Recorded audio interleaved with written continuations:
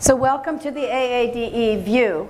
I'm pleased to be with you today to have a conversation amongst your MAC co-facilitators about what it really means to drive leadership development in our groups both at the coordinating body level, the local networking group, and of course the COI. I'm delighted to have these wonderful, very experienced volunteers with us today. They all are leaders in their own rights, in their own organizations, in their own day-to-day lives, and certainly in their AADE lives. What I'm going to do is, starting down with Cynthia, I'm going to have her just say her name again so you know who she is, and then I'm just going to have her tell you what leadership role she currently has besides that confusing role of MAC co-facilitator. Well, hello again. Um, can you hear me? There you can now. Hi. Find your My voice. Yes, I did. Turn it on. Um, my name's Cynthia Lychuk. I'm a registered nurse and a certified diabetes educator, and I currently am the um, diabetes clinical manager for the North Florida territory for Medtronic Diabetes. Um, so that's a leadership role, really. Yes. Really. Yes, it is. Yes, It it is. is. It really We, we totally agree with you. Okay, there you go. All right, and um, I've had a wonderful year, and I'm going to pass this microphone right over, right? Right? I'm Jennifer Kuchwa. I'm the um, team leader for the state of Maine's um, AADE group. Hi, I'm Sharon Easter. I'm currently the Virginia CB chair, and I also uh, have had multiple experiences with uh, our local networking group, from chapters to networks. And then um, just my job is I'm the office manager. You all understand that terminology, right? Um, for a health system. So instead of just one department, I have five for the whole health system now. So it's been a big challenge. So have a great day. Well, you're not leaving yet. I'm Molly McElwee Malloy. I am um, an RN CDE with the Center for Diabetes Technology at the University of Virginia.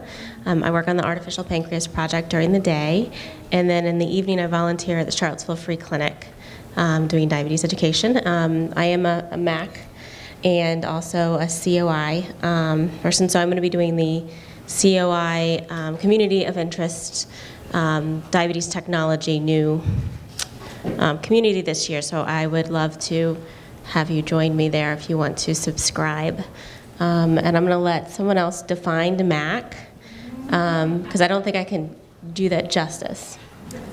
Hang on to the mic over here. Over, it doesn't matter, whichever one. Go, Mickey. My name's. Really? You didn't do that to anyone but me. My name is Mickey Stewart. I come from Mississippi. I've been active in AADE ever since Mississippi uh, set up their first chapter many moons ago, 27 years ago. And I continue to volunteer for the CB as the team leader. I have also served AADE as a liaison to the specialty practice groups and numerous other duties as assigned. Okay, I'm Donna Funk. I am a diabetes clinical nurse specialist, CDE BC-ADM. I have been a, uh, working solely in diabetes for 24 years as a CNS, and I am currently not only a MAC co-facilitator, but I am the COI leader of the most active and wonderful COI, the Inpatient Management Group. Easy to lead. So I should have said, go, Donna. so let's start with the question that's already been posed before we jump into our conversation that we want to have today about how we can coach leaders. What is the MAC? I thought it was magnificent, awesome, you know, cool people, but. It isn't. So anybody want to take a stab at what the MAC is? Go ahead, Cynthia. I'll tell you what the MAC was for me. Okay, as a MAC co-facilitator, um, this past year, what I uh, attempted to do was just stay in touch with um, the membership, and then to um, listen to uh, what the board had to say, and then what our communities had to say, either online or in person, and um, just bring concerns forward, bring information back, and then to make everyone who could possibly be a member of AADE or who had an interest in diabetes know that there was some place that they could go for support, for education, for information, and that there were um, leaders in diabetes who were just like them. Um, RDs, nurses, pharmacists, exercise physiologists, you know, at all different levels of um, expertise, and just let them know that we're a very welcoming group and a very um, friendly group, and we want to have them be a part of us. Right. So the way I sort of, what I, when I'm listening to you, the kind of what I heard was, you are all of these folks out here's coach, their big brother, the big sister. When you have questions and you're trying to activate your groups, here is a group of people that sort of have your back. I mean, really, that's the idea, is it not? That, that, that you guys have their back. So they can come to you, and when they're struggling, they can come to you to get ideas and suggestions. But at the same time, you're, particularly you and you, I know you've got a great active group, but you're in their shoes, right? Trying Oh, to make sure that group stays active. So these oh, are folks that have been doing this for a couple of years and they've got some ideas. And in fact, the reason why we have them sitting up here is because we want you to see how they can coach you, how they can have, have your back, really. And the other thing they have is and I loved how Kiki talked to us about finding our own voice. Sometimes as a volunteer leader, you may feel like you're one of many and you don't have a voice. So they can help you find the voice back up to the staff, to the larger board, to the larger organization. So you guys really help with the voice, right? And what do you want to add? I, I'm glad you mentioned the staff because I felt that one of the things that I did this year was to be available for the staff of AADE to help them communicate to the membership things that needed to be communicated Very as cool. one of them. Very cool.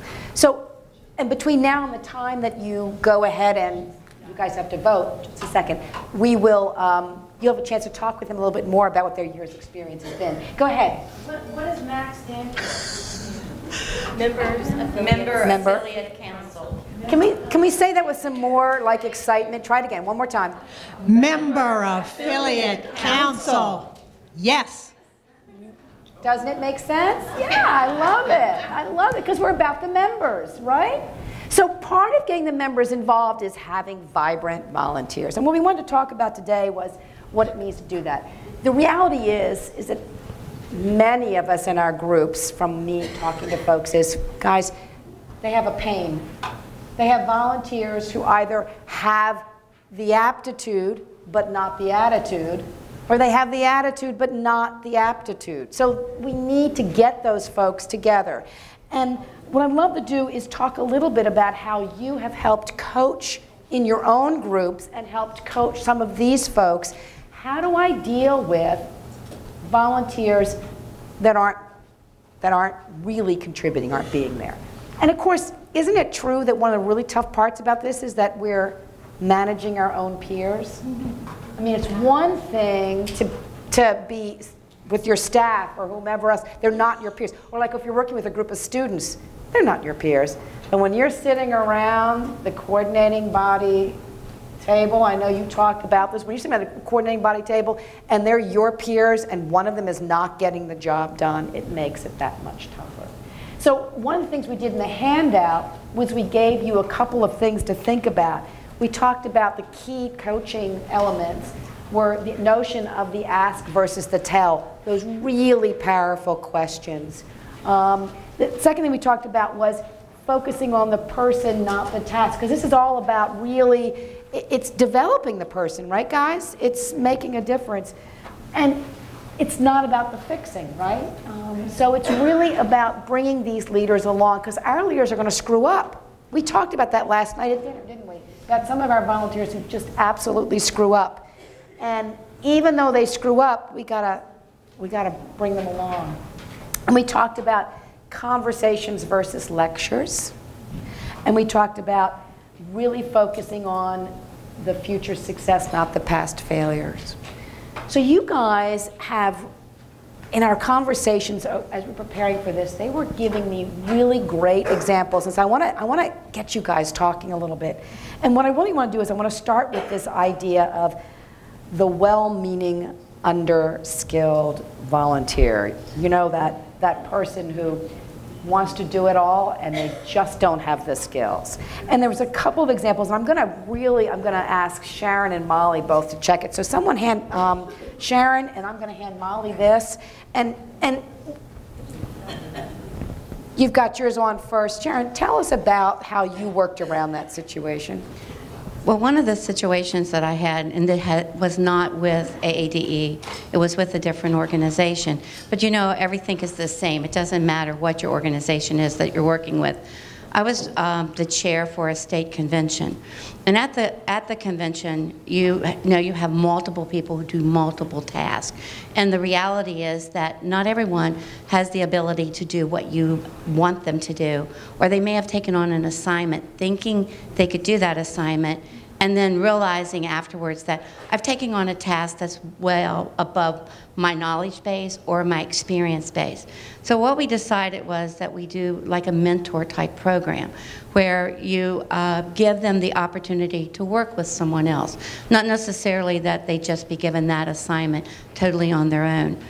And then allowing those that made a choice, and I think that's what we need to really think about is they had made a choice, but they giving them the opportunity to change that choice. And I, from my own experience, that's where I have found that we have to be able to be flexible. You can't be stagnant and you can't uh, dictate.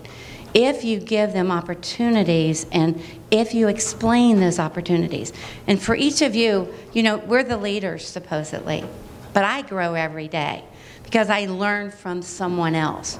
And if we take that experience and what we do, then we can go forward. The good thing is, and I'm going to share that one story. Yes. We had a story where the person was supposed to be in charge of our centerpieces.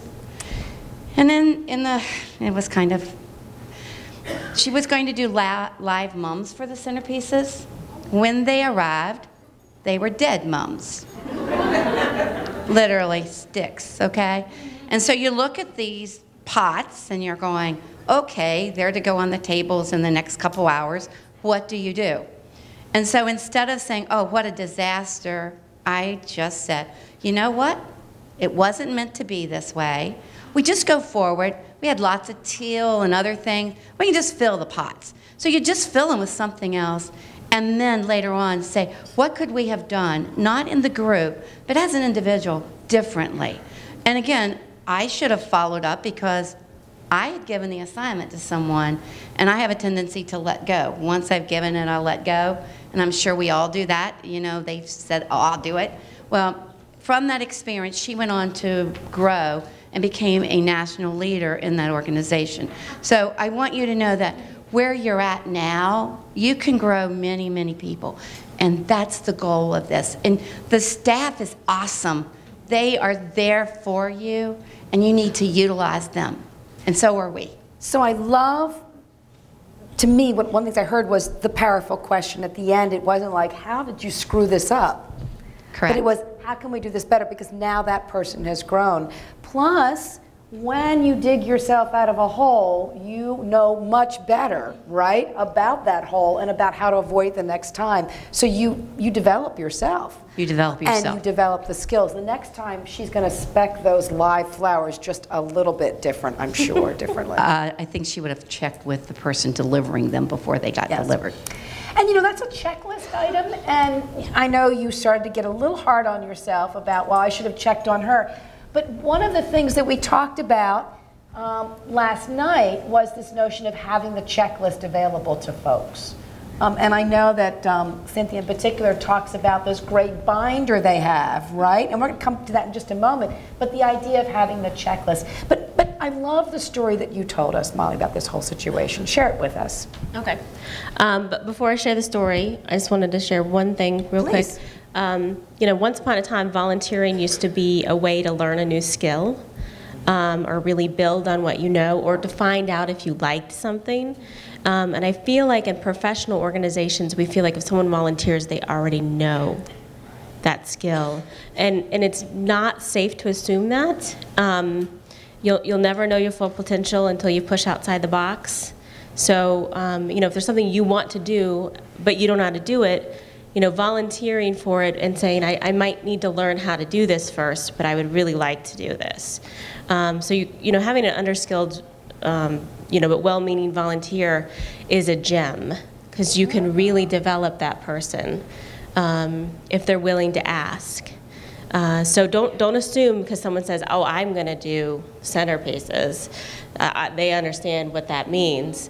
Um, you know, you know, just saying, you know, hey, what are your ideas? Can I see what you've done? Um, how can I help you? What resources do you need?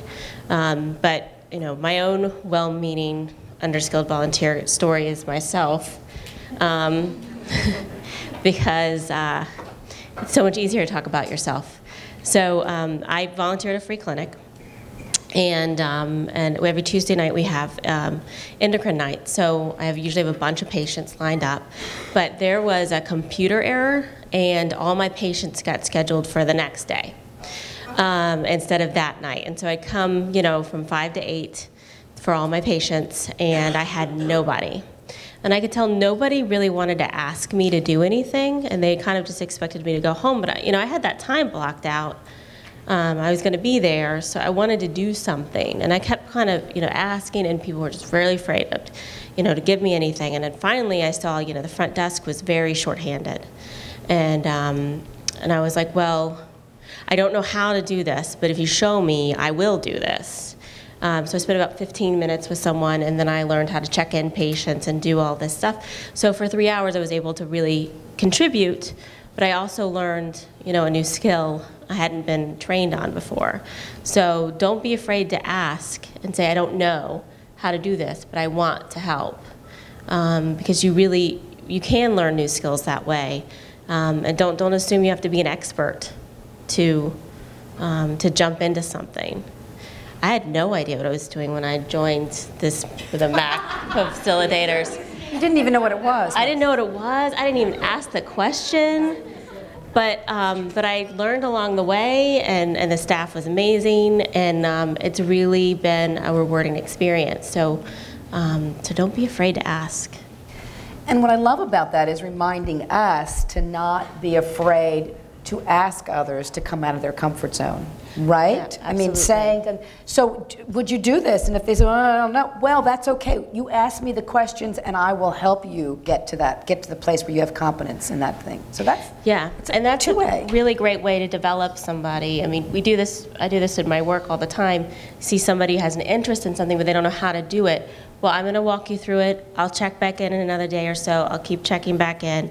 I'll wait till you're up and running and you're comfortable, and then that person can then take on that task. So, I mean, maybe it takes a little bit of your time, but it's really worth it. absolutely. So the, the, um, maybe not polar opposite, but certainly the opposite of the person who is underskilled is the person who knows everything. And on top of that, doesn't want to change. Does any of us have a volunteer who has done it the same way forever and they know that that's the way that it has to be done? Right, right. So I was delighted to hear Cynthia's story about how she upended a volunteer. No, that's not nice to say. no, but how did you get around that where people didn't want to change? Oh boy. Um, so our LNG, and I'm the facilitator this past year for our LNG, and we call them facilitators now, not presidents, right? Because it feels better, right? It, it means like there's more people involved, and you're kind of um, getting everybody's input and that kind of thing. And that's exactly how we went about um, helping those who didn't want to change. So one of the easy things was um, the meeting agenda. Um, when we came to meeting, the meeting was already planned, and so it was more like a tell. Um, this is what's going on, this is why it's going on, this is how it's, da, da, da, like that. So one of the easy things to do was to send the agenda ahead and have what we were going to discuss, to discuss already out there. And then ask the members to bring back research. You know, go research it. Go find out what you can find out about it. Do you have an opinion? You know, one way or the other. And then when we came together, now see, it's not one on one. It's, well, I read such and such that said, well, I read something else. And I know somebody who, see, it's no longer you against me, which is never the intent. Um, so the agenda was easy. And then we had a new member in our group, and um, she had been with an LNG before, and they had some ideas about how they did things. And it was the SurveyMonkey, right?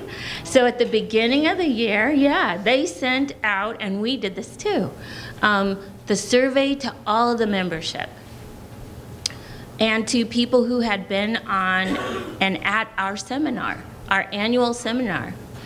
And so we got input from our whole community and from our members.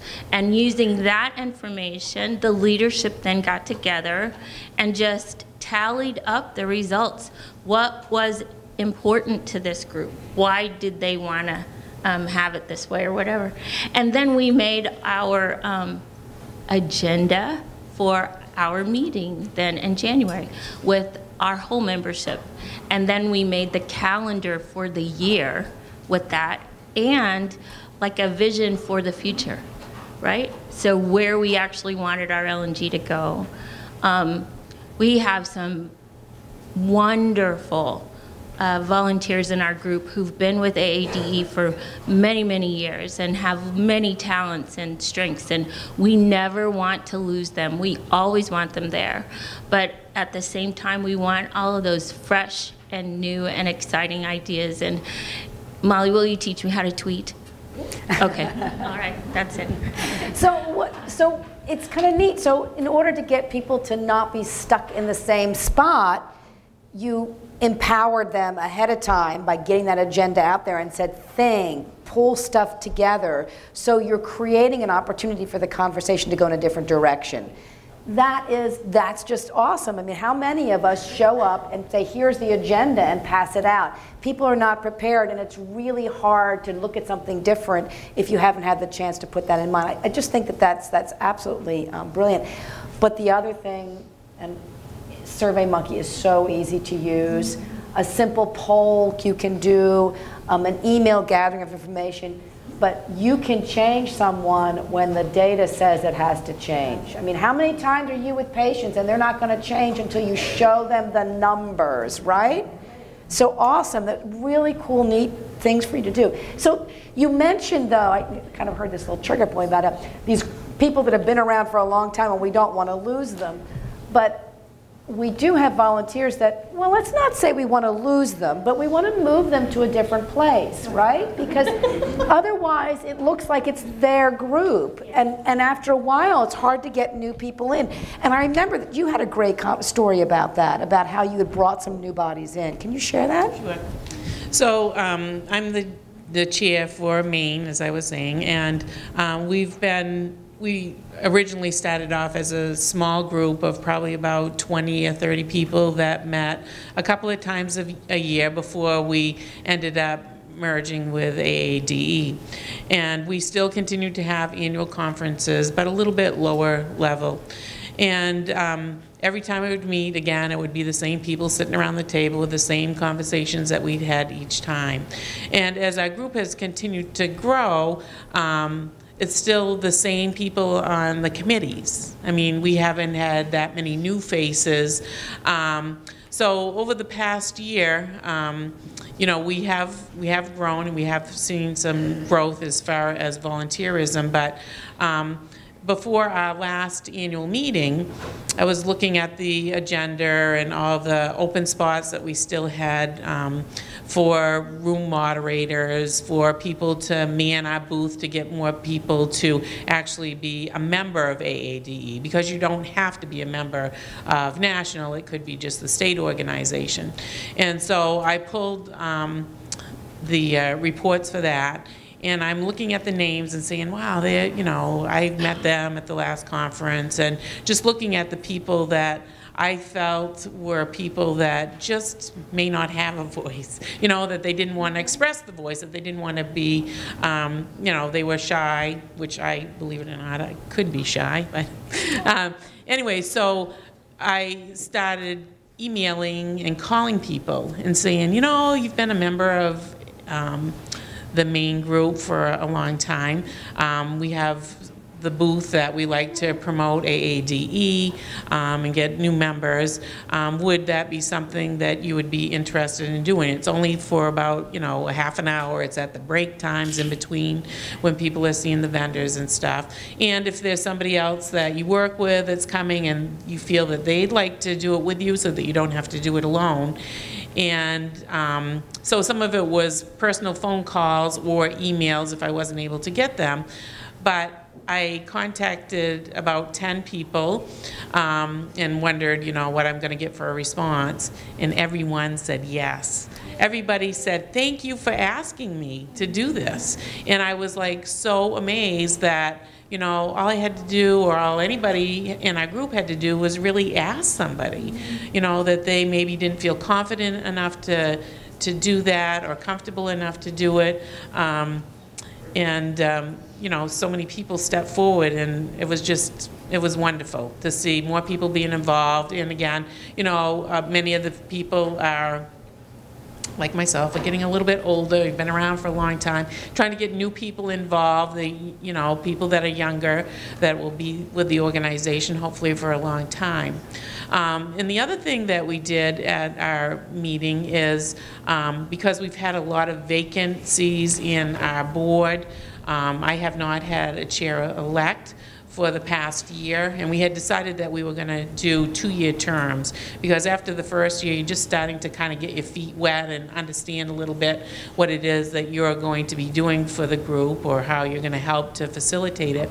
Um, and so uh, what we did at our annual meeting is part of it, we each person who had a position on the board stood up and spoke to the group about what their volunteerism um, included, what it was, how many hours you would estimate that it took you, you know, um, and what your position was, so that we each explained it. And we also each explained what we had gained from being um, a member of the team, what it, what it meant to us, what some of the, um, you know, gains were that we had personally um, felt from that, and also some of the rewards that we received. Because um, this past year, Maine being small, um, we actually were able to pay registration for four members. And what we did was we looked at who has volunteered, who's helped on different committees, who's really committed to the group, and who has not been to the national conference. And um, so we sent four, four people to that. And um, a lot of people were, you know, were like, wow, you know, you can get to do that. Well, by the time we finished our conference, we had all our volunteer positions for the board filled for um, this coming year. And um, so that was exciting. A lot of new people, people that I hadn't expected that came out. Um, and, you know, our committees have grown. I've been on the, I mean, I've been involved for a long time, but other things that I had done prior were, um, you know, the advocacy committee as well as um, the co-chair and chair of the um, conference planning committee. And those have all grown. We have new members because they do have other values to them, not only what you gain in the friendships and, and stuff that you gain with your group and getting to know people, but also, you know, the benefits of being actively involved. So getting those new people is sort of a two-prong effort. One was, of course, the incentive, if you're going to be mm-hmm. involved and engaged, we're going to give you something back. And in this case, a chance to go to national, which is like an eye-opening, right. awesome experience.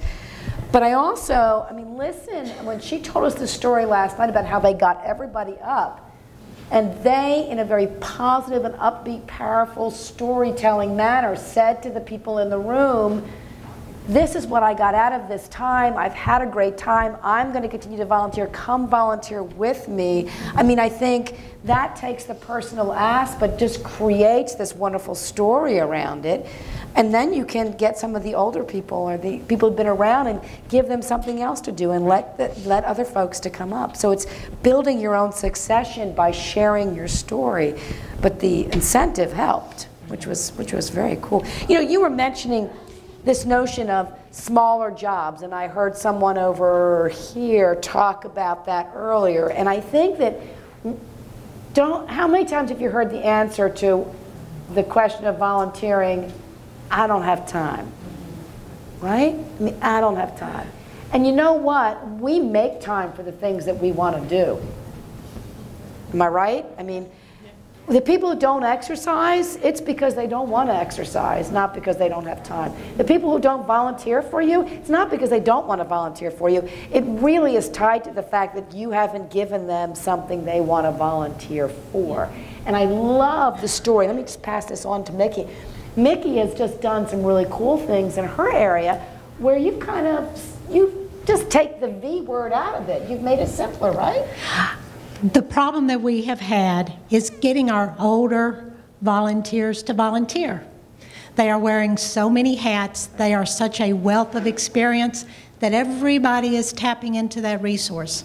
So we've begun to look at our younger membership and sharing with them key positions that we needed. One of the first positions we needed was the nurse planner position for a continuing education application. I was able to recruit a young nurse, agreed to be our nurse planner, told her that, you know, Rochelle, I really think this could work to your advantage, that you could tell an employer this. I am proud to say that Rochelle now has a job with a School of Nursing setting up a special curriculum unique to Mississippi. Then, when we would have our LNG meetings, my older members were, well, this was fun. Uh, you know, and my younger members would say, hey, this was fun. How can we do more of this? Well, you know, don't weigh them down with everything. just go for the bare minimum. I just need a point of contact for this local networking group. I will send you the names and the emails of the people in your area. You just decide we want to have a meeting this is where we want to have it. I will find the funding to underwrite your expense. I'll help you with programs. And they are growing into nice leaders. And you know, I didn't think about this last night, but these two brand new LNG leaders are also the two newest CDEs in our state. There you go. How cool is that? You know what? I and this was this came through so much yesterday when you were talking about this, Mickey. But this do you notice that she's put more of her time in helping and finding? She's not doing. She's not, you're not doing. And that's probably the most powerful thing about us getting the next generation is that we need to stop doing it and start helping others do it. Well, the, the truth of the matter is, I can't do this forever. Amen. I mean, we shouldn't be because our organization's not going to grow if we don't bring other folks into it. Um, and you know, it's interesting because I know over here, now, it was it you? What, what, stand up, what is your, um, what group are you with again? I, I am with, I'm chair-elect of the New York State, upstate New York, Albany area local networking group. And um, and, and I'm chair-elect of the coordinating body for New York State, but I'm, I've been trying to get our local group going again. We've been involved, we've been around for a long time, but then when it came to the point where we had to make a decision to go with AADE or to stay alone, everybody stayed alone for another year. And then after that year, they saw that things were crumbling, and that's when I sort of said, okay, you know, we really, I, I talked to everybody and said we have to really make an effort to, to join AADE because we're going to be stronger and we're going to grow. And we're going to get more benefit if we do that. So those were the things that I was doing to try to get this going. And then I asked people, just like, just like you did. And I was actually, I spoke in Maine, and they really have a great group up there. And what I'm wondering is, when, when did you tell everybody what the group does? Was that at that conference, the annual conference, or was it another time? No, it was at the conference at one of our um, updates, either first thing in the morning or at Okay. noontime at one of them. yeah. Okay. I, I, I'm sure I was there for it because I stayed for everything. But they really do a good job, and that shows how you can really get other people involved. And we're trying to get our younger people involved too. And what, what I just, I love what you're sharing and what most of you shared here is that it is the ask, it's finding the voice to make the ask, but it's also finding that that truly is your job, right? That, that, that is your job. Um, and I want to just, I want to, something else you said that goes right along that, that whole idea of what's my job is this, is this idea of, of reaching out and, and, and coaching folks when something's not happening. So one of the things I did this year as a, a MAC co-facilitator was respond to a request from the staff. They say, we have a couple of COI groups, and I, I do have to say this up front, that the community of interest groups have a, a little tougher time in some respects because we don't really deal with each other face-to-face ever. I mean, you can at the annual meeting briefly, but if you didn't get to go there, then you really, it's, it's, an, it's a phone email thing. Um, so we had some groups that weren't really doing a whole lot. And the staff says, you know, would you mind talking to these people? So um, I did, in fact, reach out to two group leaders, and I tried to write them, just as Peggy has said, an ask versus tell. developing versus fixing, um, conversation versus lecturing email that said, you know, well, I'm one of these things that nobody knows what they do, a MAC co-facilitator. and one of the things I'd like to do is ask you if there's any way I could be of assistance in helping there be more activity in your group. Could I be helpful in giving you some pointers? Uh, could we talk about this? Can we get in touch and do more? Um, and it was a bit of a struggle, and I, I've got to say, I don't think I was successful. And I, I know why not now from listening to everyone else talk. Uh, there wasn't enough follow through on my part. I threw out my email, didn't get a response, and I stopped throwing. Uh, actually, I did throw twice, but you know, it's, it's like I didn't, I didn't really hone, and I should have picked up the phone because it turns out really that that personal part of it just isn't going to happen with an email. And I really wasn't thinking about that at the time. So uh, uh, this is a, a, negative learning experience that you can all share in. Uh, it really would have been better if I'd called this person up and said, so hi, you know, how's it going being the leader of this group and is there anything I can do to help? Uh, you know, they told us a few things, that might be useful, but please let me know. What can we do? Um, can I be helpful for you? Uh, and I think that would have been a good deal. I have seen that work with my own resource nurses at the hospital where they're volunteers. They don't get paid a dime extra. They do get paid when they come to a meeting and they mostly have to come on their own time. So they are getting paid for that as work time. But uh, I have seen them come and they say, you know, well, okay, this was a fun meeting, I'm out of here. And really, you know, the personal interaction where I say, okay, so this is what I really need from you. Um, I think, and would that be useful for you, asking them what, how they see it's important. I had a meeting with them just yesterday at noon uh, because th there's there's some struggles here. We've we've had some hard times, and they're having a harder and harder time participating. And I said, so they're talking about making this group be part of our ladder program that we're starting up. We're going to have to show some stuff that we're doing, or they're going to think, well, this is a waste of time and money. And the group was able to produce some seriously wonderful ideas. So, uh, but it was when we were face to face that those ideas came forth, not when I said, here, tell me what you want. Uh, it, it needed to be that face to face discussion.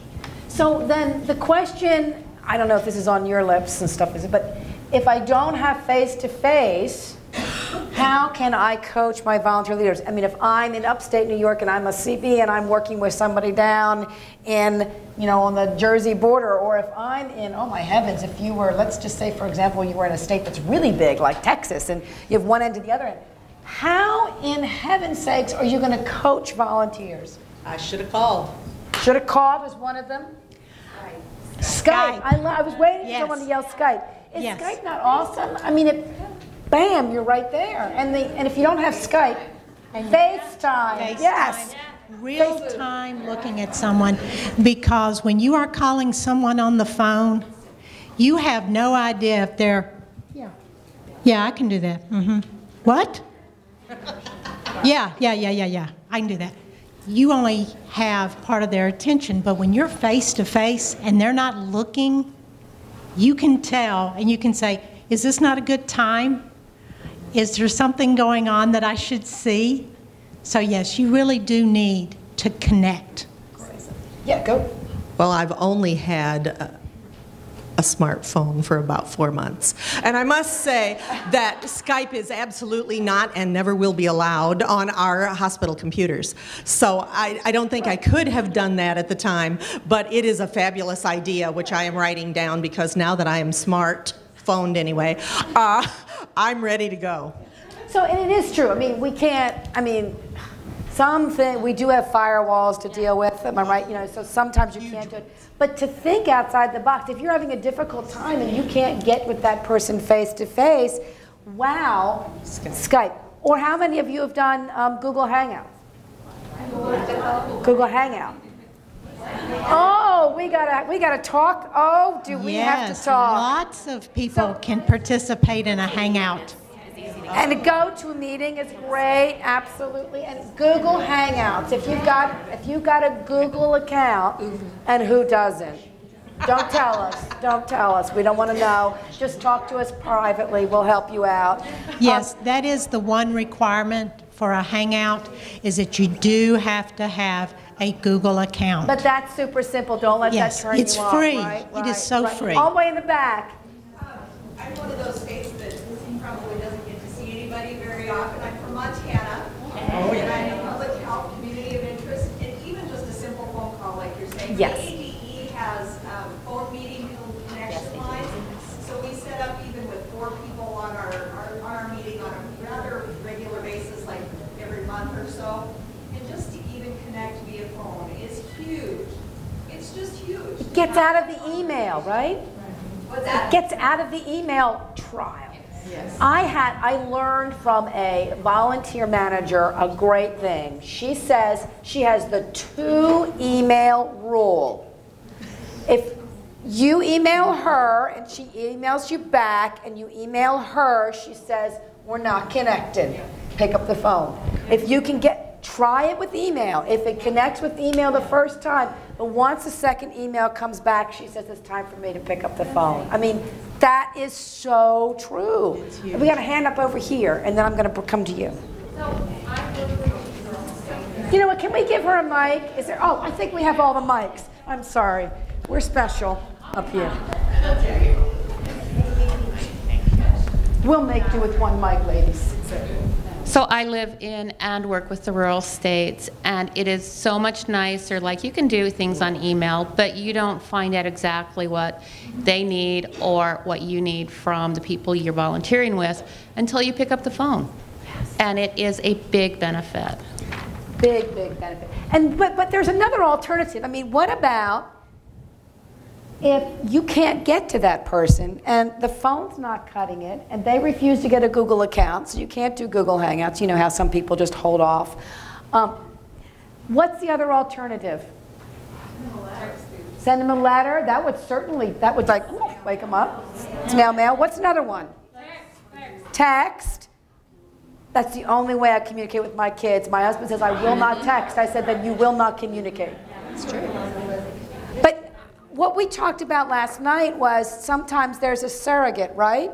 Finding someone else who can get to that person, right? So maybe you all can't get to a volunteer leader you have, but one of these folks can help you out, right? So sometimes we have to kind of reach out to, to someone else to help us out. We don't have to be the solution, right? We just have to be thinking of the solution. Facebook.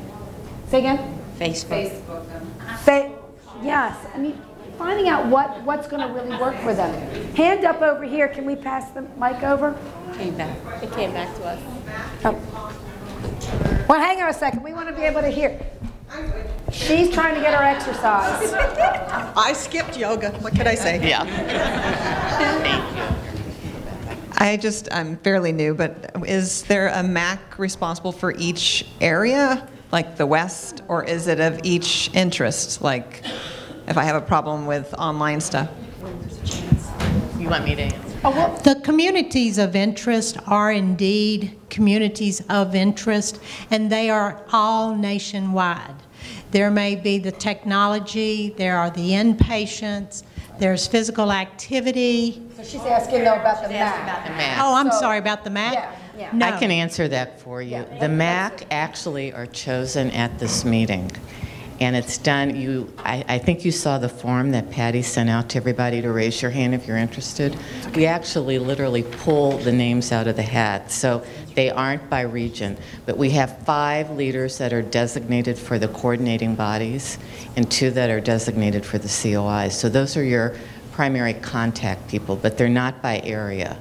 So how do we know who of you we reach out to? You will after this meeting. So, so the question was, how do we know? Because oftentimes what happens is you're used to thinking, well, there's somebody in charge of the territory I'm in, right? So rather than a system that pushes you to one person, the MAC is a group of people, and you can connect with the person that, that is the person you can A, reach, or B, that you have a connection with. So if you get a chance to meet these folks, and let's say you're a CB and you're in one part of the country, there's if there's someone that's close, but maybe you meet, I don't know, you could meet Molly or someone else, and you say, wow, she, I, I just connected with how she talked about coaching. Let me connect with her. Isn't it that's fair statement? So it's not about a person, but you've got a team of people.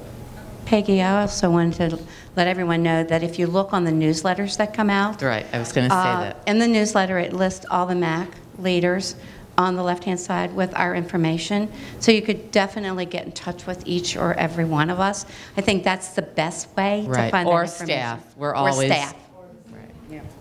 Or, or, there's one more. Yes, did you have a thing in the back? As long as maybe he has the microphone, maybe she could describe what the MAC does, because we've had some people asking what the MAC's responsibility were, so we talked about the Oh, I'd So be happy to to. the view. Come, Yeah, come I'd be the happy view. Oh my gosh. Go Nick Go Nick Peggy knows how much I love to be the center of attention. No. Um, the MAC actually stands for Member Affiliates Council. And as I mentioned, the selection process of the seven people occurs at leadership. And then after that, we have quarterly calls with the leaders to get feedback, discuss any issues. But then we ask people to take turns posting on our uh, Leaders Forum, both in the uh, National Leaders Forum and in the COI Forum. So they get conversations going, they bring up topics to get leaders to be talking to one another. We also ask people to take a turn and write an article for our volunteer leader newsletter, and I hope all of you are taking time to look at that. We put a lot of, of time into getting relevant articles. Most of them are not done by staff, they're done by your peers, so that they can share their successes with you. And then they also help at this event, as you see, we're using them today, and at any of the annual meeting activities that we have. And we try really to be very um, aware of your time. We come up with a calendar so you know ahead when the calls are going to be and what you're expected to do. But I believe, Patty, you also posted like a job description or a listing of their duties so that if you can't remember all of these pearls of wisdom that I'm saying right now, we do have a listing of all the activities. But we encourage you to raise your hand. You heard that you don't have to know everything to do this job. We're here to help you, and I think the ladies will say that they really enjoyed it, I hope. Oh, All right. And you So- mentioned the, um, the e-letter, which of course is archived on the um, Volunteer, Leaders right. uh, and the volunteer portal. So you can, if you missed it, let's say, for example, you meant to read it, okay? It's okay, it's okay. You can now go back and actually act on that meaning. Right, Right? right. Because they've all written some really cool things. You also, don't they also, or am I wrong, and this could be a cool thing for you to do, don't you also, though, help drive some conversation by posting some things on discussion? Right, on those right? discussions, right. And I also would say to you, if there is a topic that you are interested in, in sharing, please, please let staff know. We're always looking for great ideas for articles, and if there's something that you want, we have a spotlight on, and it's either a CB, an LNG, or a COI. If there's something that you're doing and we don't know about it and you want to share, please let us know, and we'll include you in the newsletter. I'd like to say one thing before they, I give the mic away, Yeah. is that as a new person to write those articles, that's not my, wasn't my forte, just so everyone knows, okay? So you don't have to be the best writer, the best expert. If you have a passion for something that you really want to share, that you're going to lead that with someone else, then if you don't write it exactly out, the staff will assist you. You can send what you want, and they'll read through, and if something needs to be edited, they definitely help. So don't let that be a stagnant for not taking on the role. I love it because didn't we talk about earlier that if you don't know how to do the job, that's okay, just ask? That's really Right, powerful stuff. Now, we- I see a hang lot on a of second, we had a couple people, you have a great hand there, but we're going to go get the people right behind you and then come to you. I'm from Texas, and we're huge. Yes, you are. And, We um, understand, okay. Huge. I mean, Alaska's bigger, but not much. Um, sorry, Alaska. I didn't know Uh, Alaska was bigger, so thank you, I've learned something.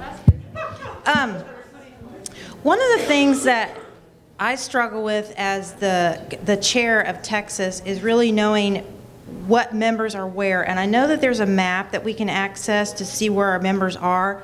One of the things that might be helpful is to actually get names, addresses, and emails of members who are in the areas that we can get to the LNGs because you can you can find the members on the website, but you have to know their name to find them. Um, so I don't know if that's something that we can do or. Uh, John, at- this afternoon at 4 o'clock, John will show you how to make that happen. We got your big issue covered, baby. We had just, I know we have five minutes, we had Yeah. two questions. Okay. Take them real quickly. Where do you find this letter? Which letter? Oh, the volunteer newsletter. John will tell you. Yeah, John, can talk. It's easiest if he shows it to you. Yes, yes. They're on the, okay, hang on. One, two, three, look at me. Oh, I just love that. Wasn't that great when she said that? One, two, three, I, oh, his eyes on me, not look at me. I'm so sorry. So the the uh, the newslet the archive newsletters are available to COI leaders in their leader area. It's a forum on my AADE network. And they're also available to CB and LNG leaders uh, in their respective forum. It, like Peggy said, it is easier if I show you. So if you want to come by to the optional session this afternoon, please do. Uh, but they are all there. Thank you, John. And right here, question. Well, I'd like to say first, thank you. Um, I, the View has always been one of my, um, so it was great this morning. Um, I would just like to say two things. One is, if you've ever done fundraising for ADA, for JDRF, for whomever, you know, the, people tell you they give money and then they stay volunteered because they were personally asked. So I think that's a huge, huge message. And then I would like to borrow from your tips. Could you quickly, each of you, tell us what you personally got out of doing this? Right here. Why would, why would I want to do this? Tell me oh. why. That's a great question, and we were going to Okay. answer it. And I want to add two things. We have just a few minutes. I want you to say, why has this been a great experience as a volunteer? And add to that one powerful coaching question that you've used. Down here, they'll have it Start with set. them. Start with them. Okay, come here. Start. Who can who can go? Nikki can always go. There is no greater, no greater honor than to serve your peers. And this has been an emotionally positive event every time I have served. A coaching question is, are you doing okay? I have time. Oh, sweet, sweet. I second that. Oh, that's nice. Oh, go ahead. Um, I, I uh, again volunteered for this, not knowing what I was doing, and, and on purpose, um, because I wanted to learn how to do this. Um, and I, um, I came to my first leadership meeting um, kind of by accident because someone else couldn't go, and then something needed to be done, and I was like, well, that sounds cool, so I will just try that. Um, and you know, meeting the staff and getting to work with everybody. I, I've learned so much. Um, you all have so much information to give, um, and the I've just it's been really rewarding. And I, um, I if you've ever ever thought about volunteering, just do it. It's so much fun, and getting to go to the annual meetings and things like that uh, that my work would never have paid for. Um, has been awesome. So um, I've just I've learned so much from you all, and thank you for letting me just jump in cold. And a coaching question. What's the best coaching question? Mm. Am I asking somebody? Yep. Mm, what do you need? What do you need? Love it. And you wanted to say one thing. I You've just got two to- seconds. To, to You know, think. our first speaker talked about confidence, and I wasn't very confident about any of this. And two things happened that put me right in this chair. One was uh, we had a COI group meeting at the 12 conference, and someone said in my ear when they were talking about leadership, You can do this. You can do this. Someone I really respected. And then when I came to the meeting, we were, we were having this meeting, we were moving through this session, they came to the part where they talked about MAC co-facilitators, and someone came up to me and said, I think you can do this. Why don't you put your name in? And I said, Well, I don't know much about it. And they said, You can do it. And I said, Okay. And here I'm, and it's been an amazing experience. I feel like I've grown immeasurably. So, and it's kind of neat because the coaching part of that is if you want to coach the next person, you got to tell them, I can do it. I know we're out of time. Is it okay if I let them say something? Oh, very quickly, go. What I've gotten from this is that I've grown, I've learned to meet lots of new people. I've come outside of my own box. And I think that's what we all need to think about. That, and I have taken from this, I can share. Sweet. And I, what Sharon said is exactly what I would say too, is that, you know, you, you gain so much from these positions that you volunteer. I feel like I get more than what I give, um, and I really appreciate that. Thank you. Nancy. And so for me, it was always about inclusion, about including everybody, you know. And so I see a lot of people who were never, never felt like they could do this leadership stuff. And so they were always the quiet person who kind of sat in the back. And believe it or not, I used to be that. I would just kind of listen and think, I wonder if I could ever do that. I wonder if I'd ever. And same as Molly, I got to leadership meeting last year as a mistake. It was, um, I. Somebody from Florida needs to go. We have some money in our budget. You want to go? You want to? You're going to be the LNG this year. You need to get up there and learn how to do this thing. And I came and I put my name in the box, and oh my lord, it got pulled out. And so, so I was really um, kind of nervous when it got out, but I had a great year, and you guys can do that too. And so many people to thank and to um, encourage you, and there you go. It so was to wrap it up, I think what we can say is these ladies are fabulous, and they're fabulous because they want to serve their peers. If you want to serve your peers as well, then just keep being leaders and maybe even take the next level. Thank you, ladies.